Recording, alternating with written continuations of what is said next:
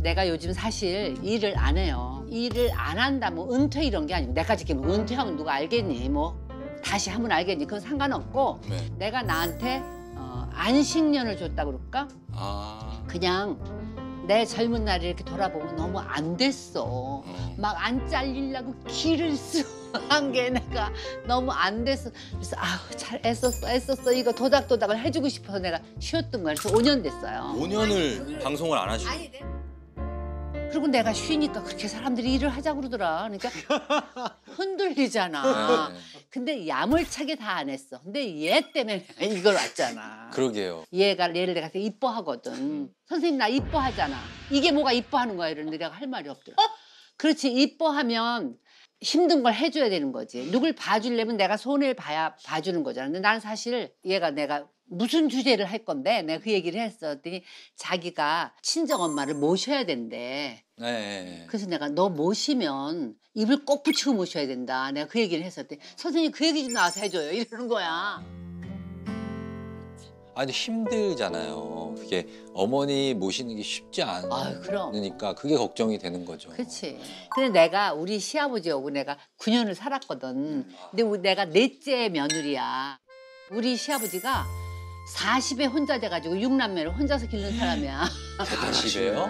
그래가지고 내 얘기를 예전에 SBS 창사 특집으로 네. 어디로 가나라는 그 제목으로 김수현 씨가 쓰고 내, 내 역할을 어 원미경이가 해서 방송 대상도 탔어. 드라마가 나왔어요. 어, 드라마를 했어. 어. 그래서 그 우리 시아버지 역할을 남일우 선생님이 했었어.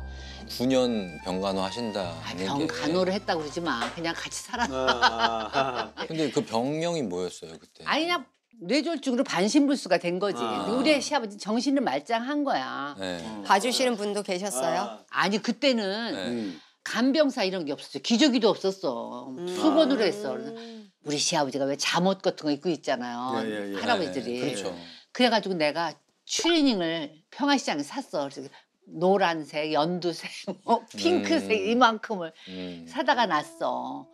근데 그거를 입은데 이제 처음에는 똥을 싸지는 않으셨어. 음. 그냥 팬티에 조금 묻는 정도였다가 이제 한 3, 4년 되니까 이제 마루에 떨어뜨리기 시작하더니 나중에는 이제 온몸에 똥을 뭉치더니 나중에 똥난초를 온방에다 그리는 거지. 아. 그 똥난초는 왜 그리냐면 나한테 안 걸리려고 자기가 치워보려고 하다가 한 손이 이렇게 됐으니까 한 손을 어떻게 치겠어. 근데 그렇게 되는데 지금 생각하니까 이해가 되는데 그때는 내가 가만히 있으라 그랬잖아요. 이러고 그래서 어, 그랬지. 선생님 일하고 계셨는데 그걸 그치. 어떻게 일일이 해요? 8년 동안 어떻게 그렇게 했어요? 아니 계속 누군가가 아니 와? 9년이에요. 1년 깎지 마세요. 어, 9년이에요. 네. 어. 근데 이제 똥이 묻으면 내가 그걸 못 빨게 되고 애 똥은 이렇게 빨래 하고 나가는데 네. 할아버지 똥은 너무 끈적 고약 같아서 안 돼. 근데 그 빨래를 내가 추리닝을 버렸어. 음. 왜 평화시장에서 좀 싸고 그래요. 사니까. 근데 우리 엄마가 그걸 주워와가지고 빨았어. 그래서 나 그게 제일 우리 엄마한테 미안해. 그래서 내가 엄마 나 바깥 사둔 똥, 똥 이제 걸레를 빠른 여자가 어디 있어? 그러면 우리 엄마가 그걸 빨면서 이년아 이게 돈이다 이년아. 음. 우리 엄마는 딸이 나가서 돈 벌어서 이거 사왔는데 이걸 버리니까 네.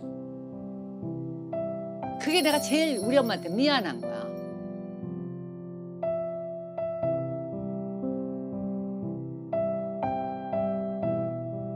지금 생각하면 재밌었던 게 우리 아버지하고 우리 시아버지하고 바둑을 그렇게 떴어요. 바둑을 이렇게 뜨시다가 우리 시아버지가 우리 아버지가 딴 데를 볼 때 바둑을 이렇게 옮겨 놓은데 어. 근데 우리 친정 아버지는 누가 야마시 치는 걸 보고 아, 우리 아, 야마시. 지금 이건 야마시 쳤이다 네. 이러는 거야. 우리 아버지가 황해도 분이거든. 아, 한- 그리고 내가 이렇게 아주 소리를 지르니까 이렇게 다 보면 이제 나노가시다 네. 이런 거야. 그러면 이제 우리 시아버지가 이래 몇- 한 일주일쯤 하자. 아버지는 어디 가셨나 나보고 그랬어. 그럼 내가 아버님이요 야마시 쳐서 안 논대요. 우리 친정 아버지는 초등학교만 나온 사람이거든. 우리 시아버지 자기의 그 서울대학 나온 거를 자랑하고 싶어가지고 바둑을 뜨다가 학교는 어디까지 했습니까?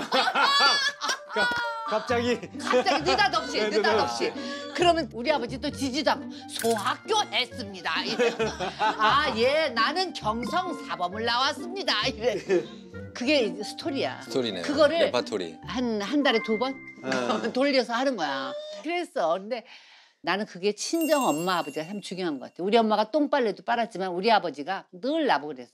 이건 송도순이밖에 못하네. 이건 양반의 딸 아니면 못한다. 이러니까 아, 그게 지금 생각해도 아 나는 내 인생의 가장 큰 축복이 우리 아버지 딸로 태어난 것 같아. 야는 특별해. 야는 특- 야얘 신문에 난다 이런 얘기를 나한테 많이 해주신 거. 우리 아버지가 나한테 그랬어. 내가 70평생 본 인간 중에 네가 최상품이야. 이래서 나 예.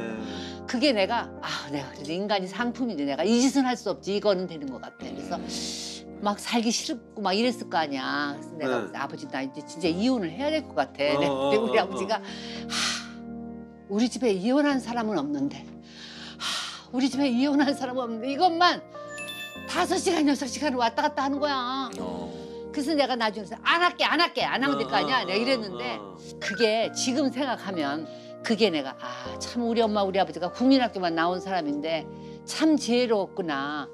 내가 그나마 견디고 버틸 수 있었던 것은 대단하신 거죠. 제, 엄마 지혜가. 아버- 아버지 때문에 그러지 않았나 이런 생각해. 예. 저는 이제 저희 아버님이 돌아가신 지가 한 1년 됐어요. 어. 이제 갑자기 그게 이제 생긴다기보다 처음에 이제 당뇨로 시작하잖아요. 그래서 만성 신부전증, 그래. 합병증이 와요. 신부전증이 오고 물 빼잖아. 네, 음. 병원을 왔다 갔다 하기 시작하다가 계속 쇠약해지다 보면 사람이 한 번씩 쓰러져. 맞아. 그러면 이제 저는 그 당시에 이제 뭐 라디오 생방도 하고 이럴 때니까 생방을 하고 있는데 막 진행하고 있는데 이 전화가 와요.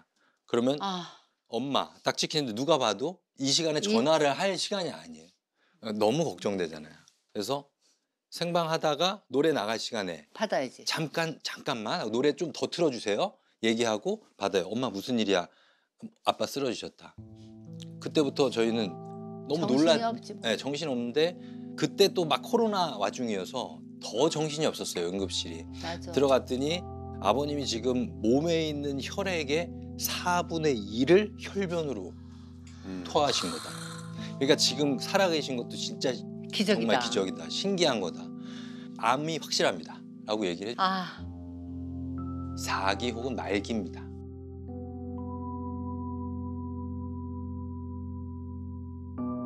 뭐 수술도 할 수 없고 왜냐면 그게 위 쪽에서 암이 발견됐는데 이게 이미 전이가 돼서 폐, 간, 파란 모세혈관 거 다다 가. 이만큼 왜 이런 상태까지 가게 됐느냐 내시경을 이때껏 70평생 한 번도 안 하셨다는 거예요.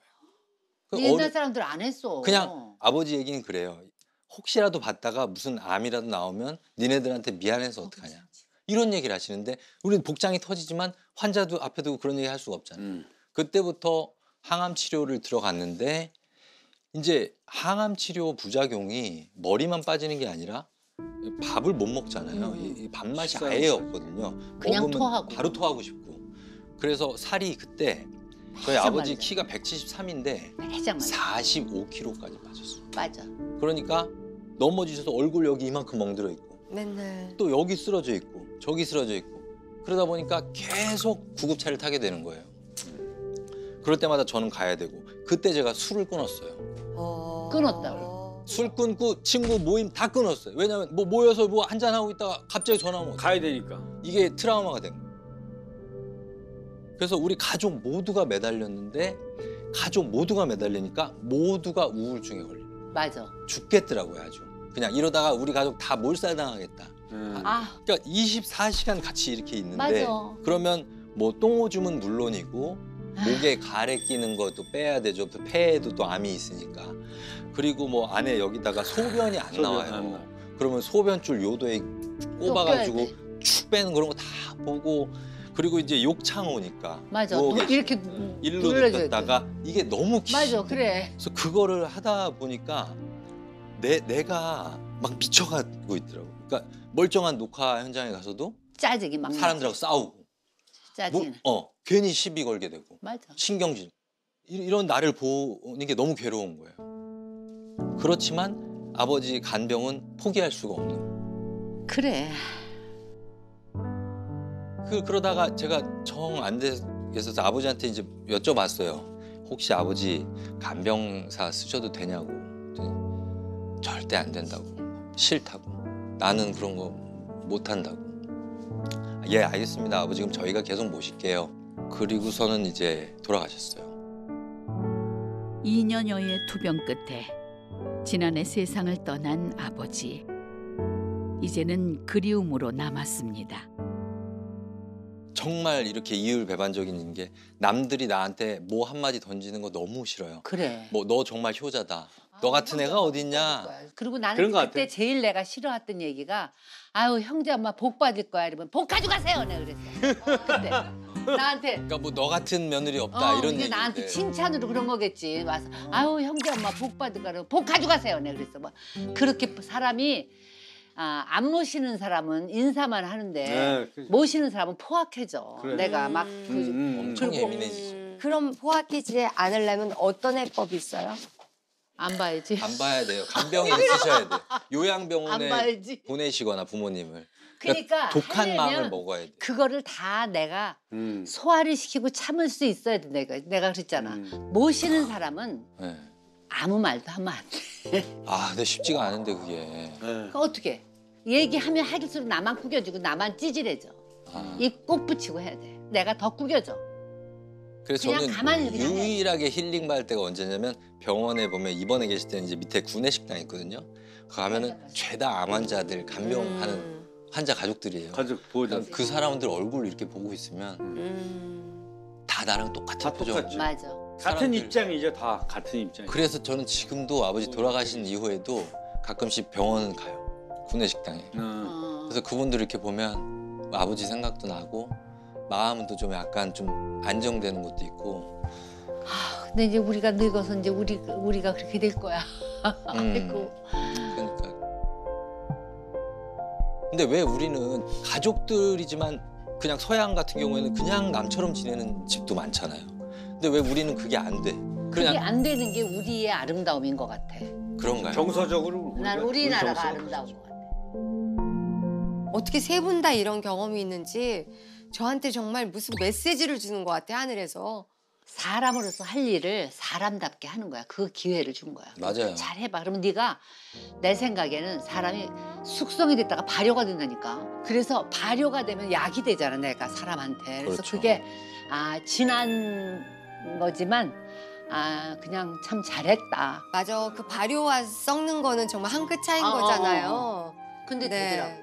이게 어른이 되더라고. 해봐 한번. 근데 너는 잘 될 것 같아. 나는 네가 내가 이렇게 보니까 밥도 잘하지. 잘할 것 같죠. 재테크도 아, 잘하지. 남편하고 쌈도 네, 잘하지. 못하는 게 못하는 게? 없네요. 다 잘할 네. 거야. 왜 따라하세요? 잘할 수 있을 거야. 저희 좀 네. 응원합니다. 힘내십시오. 긍정적이잖아, 자기는 또. 힘내세요. 오영 씨한테 박수. 감사합니다. 아유 이렇게 오늘 참.